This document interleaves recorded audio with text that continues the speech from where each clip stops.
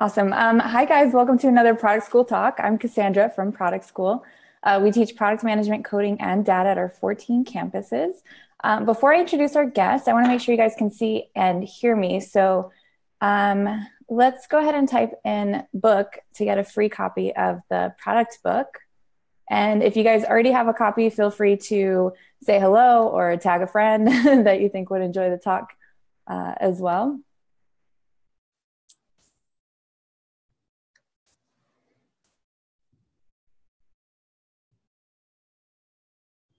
You guys can see and hear me. So awesome. So it looks like we are we're all set.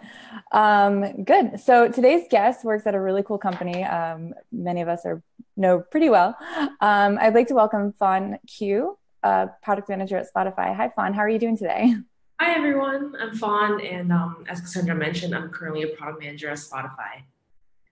Awesome. Well, thanks for being here today. I know you have a presentation uh, set up for us, so I'll give you a couple seconds to, sure. to screen share. Um, while she's setting that up, guys, as you know, after the presentation, we're going to take questions, so you can type those in the comments section right after her um, her talk. So it looks like we're all set. I'll uh, I'll let you take it from here. Sure. Thanks.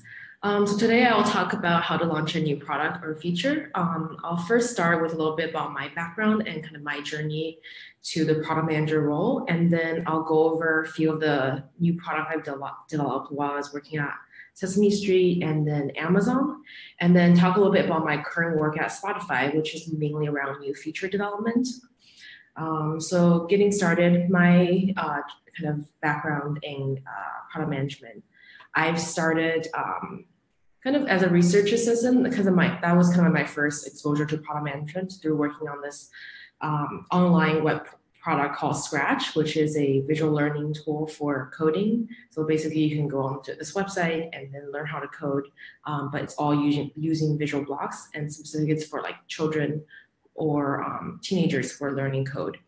Um, so when I was working there, I didn't really know that what I was doing was uh, somewhat of a project, what, what a product manager would do, which is kind of ma- managing the timeline of the product, also conducting a lot of user research, gathering feedback, and sending that to um, kind of the uh, PhD students and the researchers and professors at um, MIT. And so they can kind of distill those feedback into the product then naturally, I after I graduated, I then uh, started working at Sesame Street um, in their digital media department, where they focus a lot on developing uh, new products uh, for uh, toddlers um, for in the educational sector.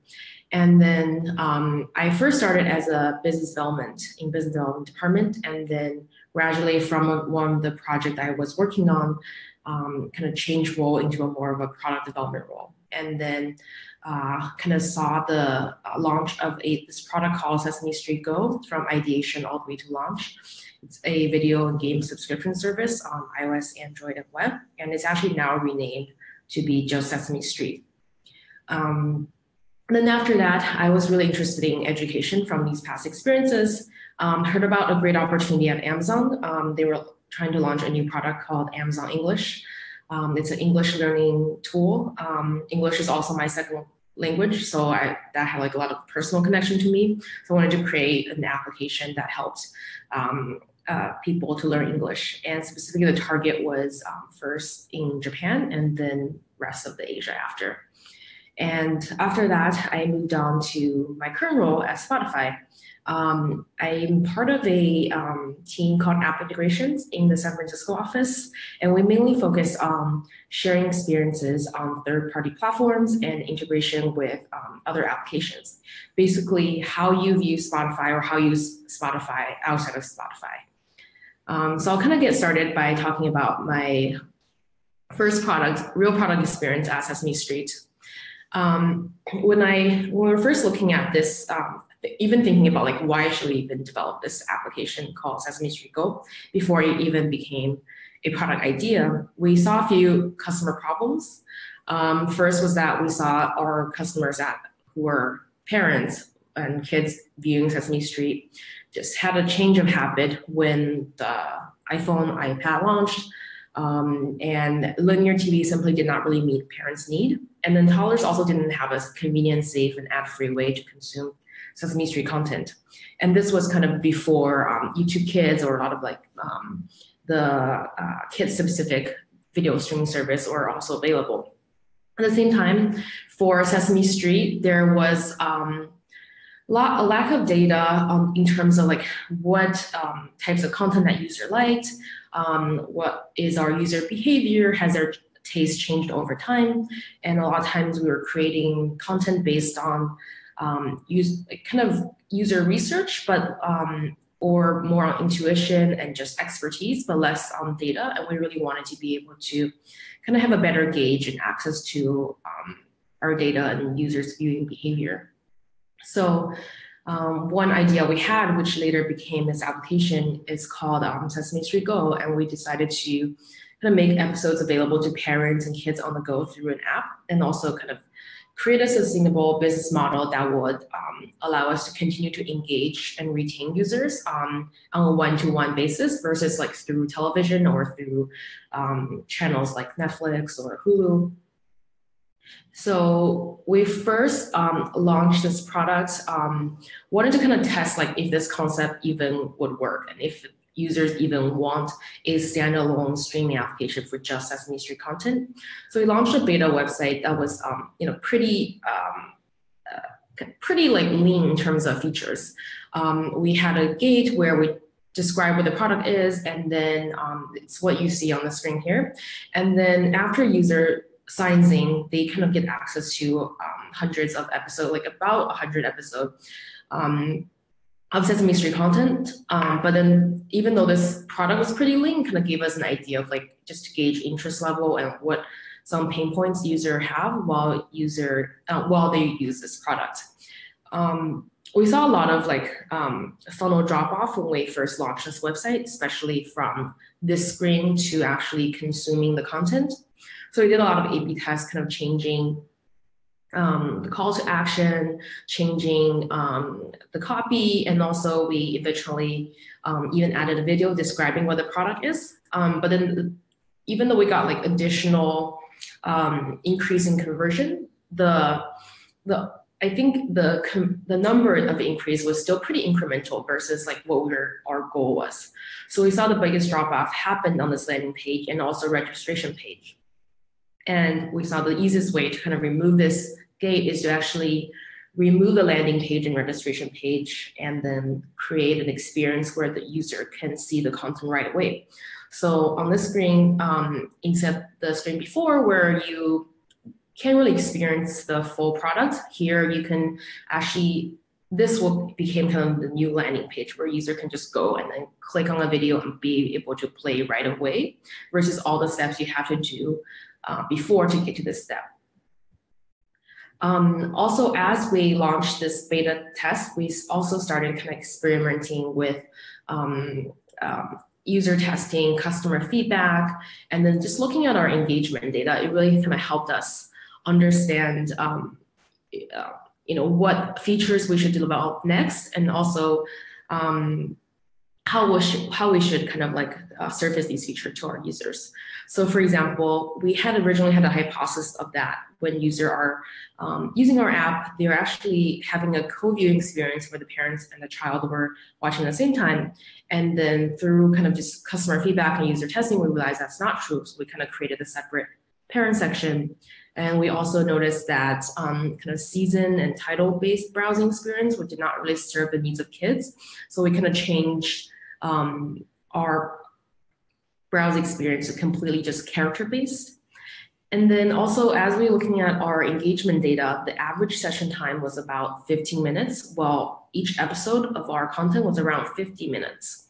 Um, so then we started actually dissecting a lot of our episodes into more short form content, form content to kind of um, uh, really adjust to the viewing habit of our users.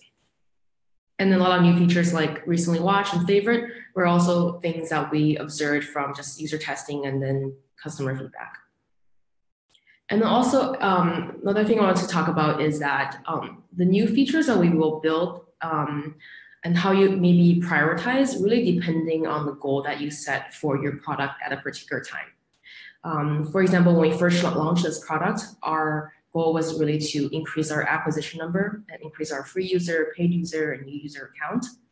Um, and in order to do that, we kind of created this free user experience where you don't even have to have an account to watch a video, but then once you reach, um, once we notice that you watched five video or six videos, then we kind of still uh, start to upsell you on the paid experience. And then if, if similarly, if our goal was to engage our user, we want them to stay on our platform longer, come back more frequently, uh, watch our video longer, um, we started adding new content types such as games and music videos. Especially games, we saw a lot more longer engagement time with kids.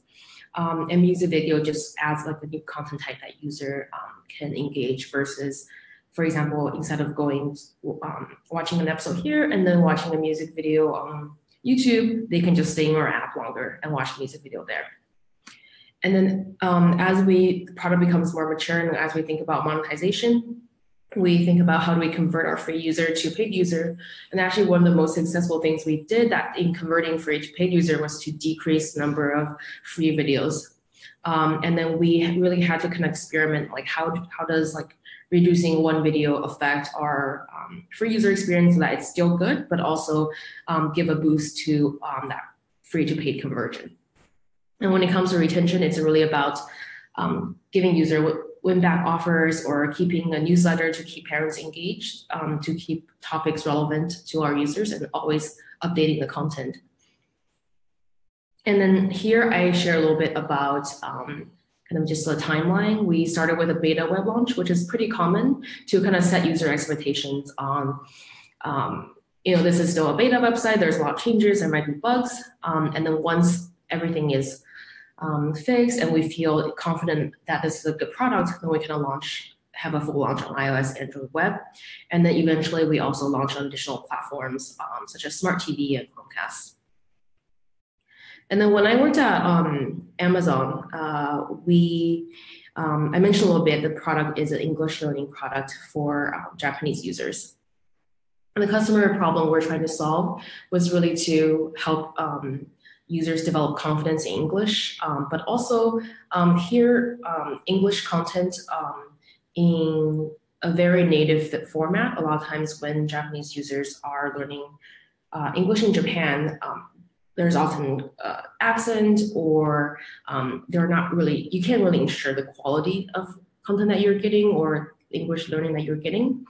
Um, also at the same time, at Amazon, there's um, this product called Kindle. There's also a product called uh, um, Audible, and there's this technology that we developed where user can listen to an audiobook at the same time while they're reading, and then um, the app would highlight um, the entire content for users. And we found this to be a really incredible tool for um, people who are learning uh, English. Um, so we wanted to kind of leverage this for a new audience. And then we product the product we created was basically a browse experience um, of um, a lot of the content that we curated specifically for English language learners, and then also a listening experience where user can um, follow along um, to a book they selected, um, reading it, but also listening to how it's pronounced at the same time. And there's a lot of educational tool we created, such as ability to um, tap on word to get the um, definition and then um, also serve user a quiz after so they can test their understanding and comprehension of the content. I think the most challenging aspect of this project was really figuring out the level of content to serve to our users. So we started with a top of funnel um, uh, kind of user survey where, where we're asking what their English level is, um, how they feel, but also um, getting their test score that almost um, most of our user would take. And then based on that test score, we serve content that is right at their English level. And then um, we also have a filter section where uh, user can uh, filter content based on their level of interest and as well as um, uh, the uh, um, the English speaking level that they feel comfortable at. And then I'm going to quickly skip over this slide, um, but then going over to a little bit of our product launch timeline. Um, we we took a little bit different approach than what I did at um, Sesame Street. So because this was a new market for us, we first tested um, this product at, with all of Amazon Japan's employees. So we did an employee only beta, got some feedback, made some changes, and then we had an invite only launch um, uh, specific to a group of user we identify as they're very interested in learning English. And we um, and we thought like by kind of identifying these group of users and sending this product to them, we can kind of get more learning from them, not just from the internal employees who might be a little bit biased because they work for a company that the product um, is created for. And then I'll jump to a little bit about my current work at Spotify. Um, so Spotify has been around for uh, many years now. So a lot of the work we do are um, testing new features or making changes and improving new features. Um, so I'll talk a little bit about two features I've worked on recently. Um, we this year we kind of revamped our share flow. We had an old share flow where um, had a little bit confusing copy, like when you want to share a song, it says post to or send to, and then based on what uh, you tap on, it it, it kind of leads you to different sharing destinations. So we wanted to kind of reduce the friction and confusion on that experience. So we came up with like two options that we wanted to um, kind of replace this old experience. And then the new one is version one is where you can see most of the destinations um, line by line, and then you can uh, surface all of them. Um, but then um, each of the destination is a little bit smaller, and the, the other version, which is a version two, has kind of more prominent buttons and more prominent sharing call to action. So we thought maybe you know both have different um, uh, hype like both have different elements that we, UI that we think would drive user to share more, but then we really wasn't sure which one would be better. So we actually ran an A/B test, test both like version one and version two. That's like the second screenshot and third screenshots that you see on this page. Um, and then based on those results, we decided to kind of go with uh, uh, the version one, which led to more conversion for us in terms of successful sharing rate.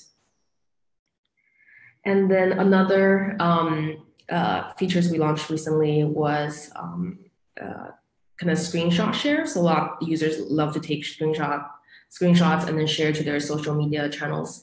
And um, we have no tracking on uh, once users share that um, screenshot to another platform. We have no tracking of that, and their users have also have no way to come come back to our platform. So by kind of implementing this feature, it allows user to kind of easily first like reduce the friction to share a screenshot to social channels, but also kind of on the last um, screenshot you see, when users share a screenshot, they also get a link back. So whoever they share with can come back to um, Spotify and listen to that full song versus the image the user would have used to share. And then um, that just really wouldn't have that kind of um, loop experience that we um, we're hoping we can provide to users who share and their audience who views that share. And then with this feature specifically, because um, we know that um, users previously did not have any way to come back to our platform, and also there wasn't like an, a better way for user to share screenshots. We just launched this feature with um, um, 100% of our users right away um, without kind of doing A-B tests to see um, if it's going to kind of hurt any of our other metrics. And then I'm going to go, quickly go over some like common strategies for launching new product features. Um, so I kind of mentioned a little bit employee only rollout. So low risk way to collect data, get feedback from employees, but sometimes the feedback might be biased. Um, there's an invite only rollout where you can kind of really control the size of users who are using your product. Um, and also um, you can maybe do some selection of the type of user you want to get. It's very similar to like limited user rollout um, where you can kind of restrict rollout to a specific user type. Um, for example, geography, if you want to only launch this product in the US, um, or if you want to only launch this product for iOS 11, you can choose to do that too there's a beta version, beta rollout where um, it really helps set user expectation. Well, um, maybe the user who actually end up trying this are more willing to give you feedback. There's um, A/B test. talked a little bit about that, that, and I think that's very commonly used nowadays.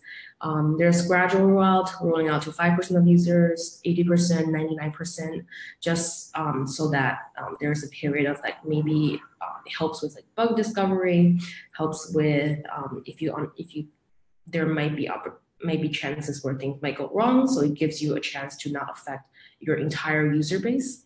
Um, and then there's also the full rollout, um, which is actually very common for product or experiences that requires um, all of their users to have that consistent experience. For example, um, uh, like if you want to launch like a chat um, in your in your app, you really have to launch it for all of your users um, so that they can communicate with each other. And then also other things to remember is to always set goals and track metrics um, and then communicate with your customers um, if it's a huge rollout and also create a long checklist of all your stakeholders including legal customer service and public relations are ready for um, when the roll happens and any aftermath that might you know might occur. Cool. So i'm done with my presentation.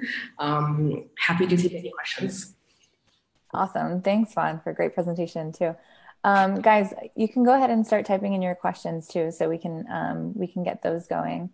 Um, here, hi. um, let's see. We had a couple come in through um, Slack as well.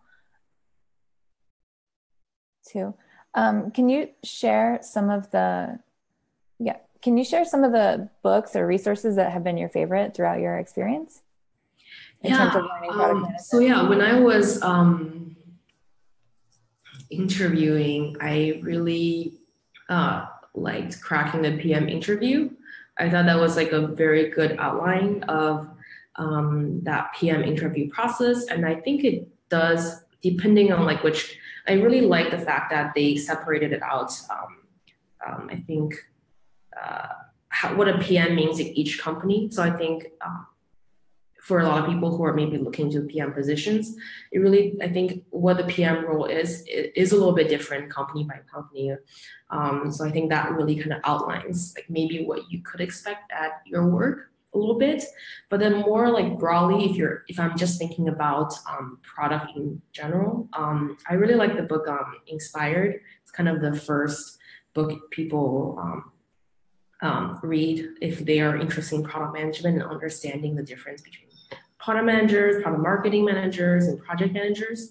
Mm-hmm. Um, I also really like um, the blog put together by Intercom. Um, they have a lot of uh, very interesting, um, kind of just very up to date um, best practices of what they use in their company, but it's very it's like short and sweet and also very up to date. So I really like just reading those blogs. Um, and recently, I think um, I was recommended by a podcast called Clearly Product. And it's actually, when you ask me like which book uh, I like, it's actually a really good podcast because um, each podcast talks about a helpful product books that you can uh, um, read, but also they summarize it in 30 minutes. So if you're like short on time, yeah, yeah. a lot of books. Listening to that um, podcast, it's called Clearly Product. Okay, awesome. Um, thanks. And we had a, quite a few questions come in now, so I'm going to um, check here and see, um, pick one of these. Um,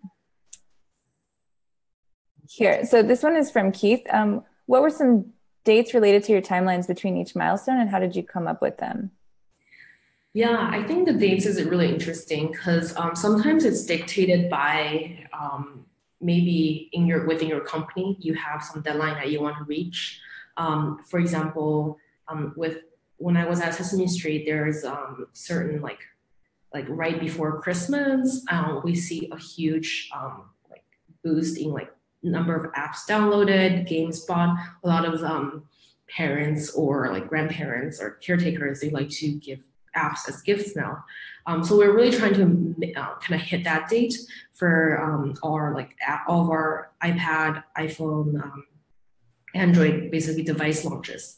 Um, so sometimes it's dictated by that. Um, sometimes it's dictated by um, partners, like when we were working with um, Chromecast to um, expand that uh, Sesame Street product to Chromecast, um, we were trying to hit their big announcement so that we get a lot of promotional opportunities through that. so sometimes it's it's dictated by a timeline by company or by your um, opportunities and then you had to work backwards a little bit maybe you had to slim down your product a lot um, but always i think um, you should always build a minimum viable product. But then I think when you have a deadline, you're even more pressure to do so. Um, other times it's about hitting certain um, metrics. For example, when we were launching Amazon English, um, we did the um, invite only beta. And then we sent um, this invite to X number of users. And we said, until we get um, X number of subscriptions, we're not going to roll this out to um, the broader um, country. Um, so, and if we don't hit that number, we understand like maybe there's just isn't a product market fit. So we need to make additional uh, feature improvements to um, in order to uh, hit that number, and then we feel feel comfortable to kind of roll this product out to the broader country.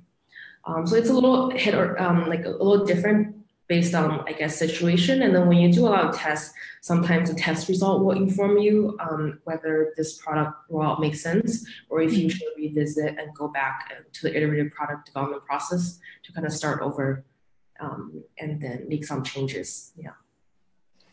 Awesome. This uh, this next question is from John um.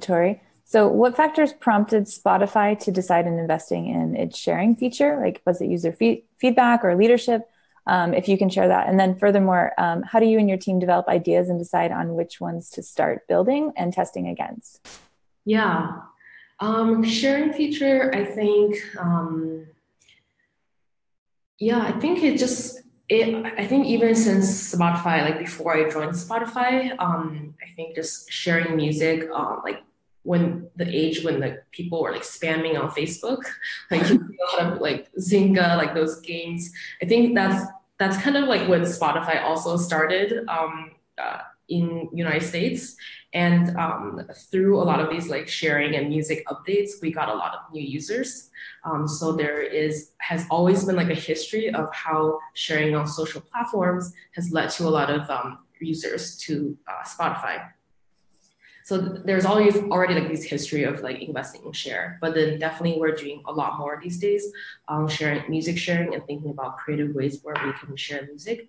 We see it as like a really great acquisition channel, but also engagement channel. And also we don't have a lot of like social features on our own platform. Like you can on the desktop, you can kind of see your friends feed what they're listening to. But we want to, we know music is kind of a experience where people love to share with their friends and family. So we want right. to make it capable, available for users on the platforms that they're most, uh, that they use most, whether that's like Facebook or um, Twitter or something else. Yeah. And then um, another, the second question was like, how do we decide which one to invest in um, or to build? Um, yeah, I think it's always um, um, like challenging when you have a lot of different like, ideas or especially for our team there are so many partners and apps that we can integrate with. Um, i think most of the time now we're really considering which um, platform will bring us um, the most um, the most users and how big is our platform. So maybe before we were very interested in trying um, um, like things out with like smaller, smaller, smaller apps and smaller partners. But now we just see the um, acquisition channel and the kind of the loop is much bigger and much meaningful to us as a company when the partner has a lot of existing um, uh, MAUs. Um, and I think it kind of translates into that funnel where if you start really big, um, then the user that it brings to you um, is a big number too. Awesome. Um, we have time for just uh, one last question. Um, this is from Tanvi. Could you speak to what product teams look like at Spotify and how do you influence your team to see uh, your vision or align with your product roadmap? Yeah, so at Spotify, the product team, um, um, it's, it's actually quite similar to um, what I would envision, like my experience in other other um, companies. Um, it's pretty flat. Um, it's very agile. I think one great thing about Spotify product team is that um, they try to keep everyone local. So that's like really big bonus that your engineers, your designers um, are all with you, and we work in kind of a squad formation. So we are like one team. Um, everyone we have a dedicated well, not always. Sometimes we share resource too, but most of the time, if you're working on a project, you have a dedicated designer, you have dedicated engineers, and then um, you kind of aim to kind of launch a product Um, and then everyone is fairly involved um, from the ideation to kind of forming a user experience to kind of building. I think everyone's pretty involved. So that's like a really, I think it's a really good thing just so that you are not kind of in this, uh, you don't get tunnel vision into like right. ideas. Um, and um, and uh, I think another great thing is um, it, it uh, sometimes most company nowadays use like agile, um, but um, I think Spotify also uses agile, but we are pretty um, quick to change the way we work if we notice something doesn't work. Um, for example, my team, we went by Scrum for like a good number of months when I first joined, but then um, the team just really had the feedback that they felt like it, the meeting was too heavy, and then we actually um, changed to Kanban, which uh, has a little bit of less um, planning meetings and like um, kind of a lot of the process and procedure that are very common to Scrum.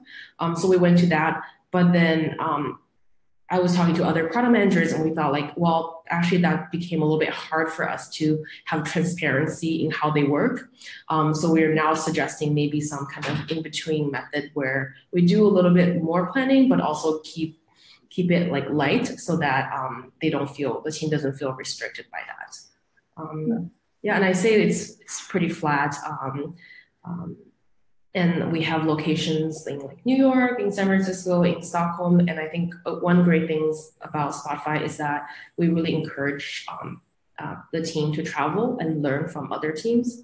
Um, so I had an opportunity to go to New York and Stockholm. I think that's always been helpful to um, feel like more connected to. Like, right, right. Yeah. Absolutely. Awesome. Um, well, thank you again for your time. Really appreciate the presentation and, and, taking the time to answer some questions. Um, before we let you go, could you share your final advice for aspiring product managers out there and those that are trying to break into the field? Yeah, I say um, try to figure out what your strengths are in terms of um, being a product manager, because a lot of people say product manager is is part of engineering, part of design, part of business. Um, I say try to find out like um, I think it's impossible to for someone to say I'm good at all three. Um, trying to find out like what is your strength are. For me, I've um, just through working, I know that I uh, have a very good um, product like design sense. I have a um, I really enjoy like talking to users and understanding their user behavior.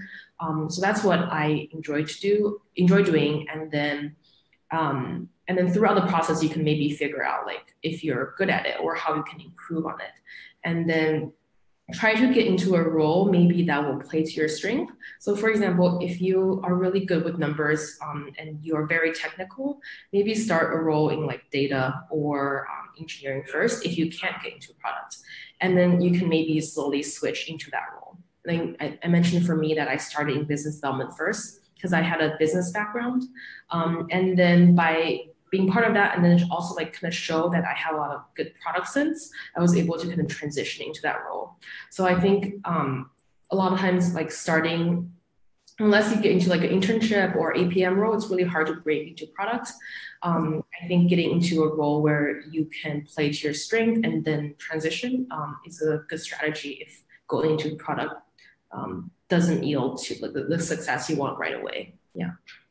Awesome. Um, well, well, thank you so much again. We appreciate you being here with us. Yeah, thank you. Thank you guys. Awesome. And thanks to, and thanks to everybody out there that was watching. Um, if you want more information about us, you can find it at productschool.com. Um, hope you enjoy the rest of your day. Bye guys. Bye.